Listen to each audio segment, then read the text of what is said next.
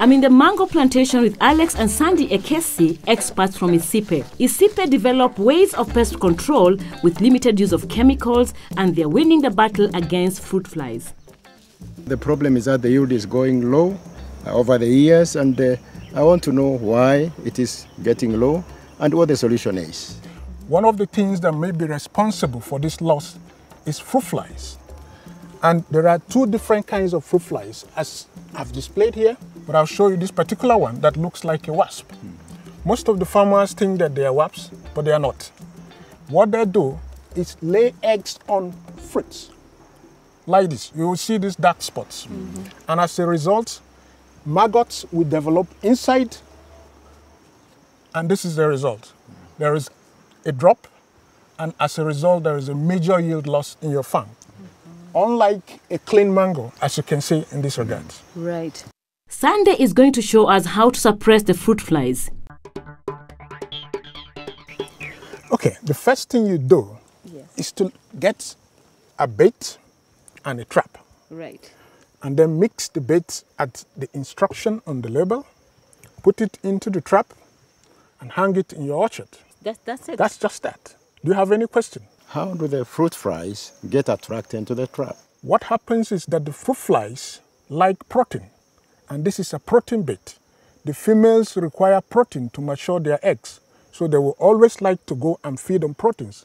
And in that process, they will get trapped inside your trap. When you see two fruit flies this week, the next week you see five, the next week you see seven, it tells you that the fruit flies have started coming into your orchard.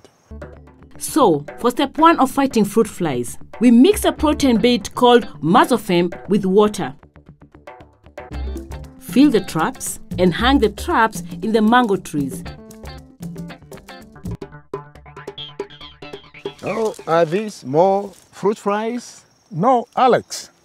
These are not fruit flies. These are the natural enemies of fruit flies, otherwise called the farmer's friends. Mm -hmm. These ones laid eggs on the maggots that are found inside the fruits and kill them. Right. And when you complement this with the other management methods, it mm -hmm. will mm-hmm. again substantially reduce fruit fly burden in your farm. What problems have you encountered? Or has everything just been good and all rosy? No, we have that problem. When you cut inside the fruit, mm. you see an, an insect there. That's a, a fruit fly and uh, to deal with that fruit fly we use this trap.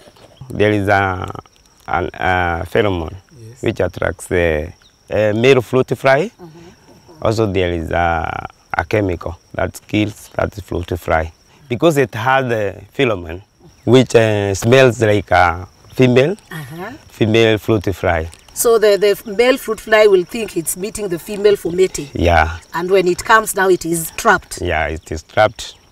Then it, it dies. Fruit fly is a big menace to most mango farmers in this region. Fruit flies can contribute to 50 to 80% harvest loss in mangoes.